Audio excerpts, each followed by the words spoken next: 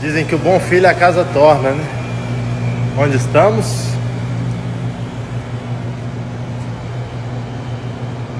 É sempre bom voltar aqui. Onde todos me recebem bem, tenho carinho por todos. Obrigado, Palmeiras. Parabéns mais uma vez pelo grande ano.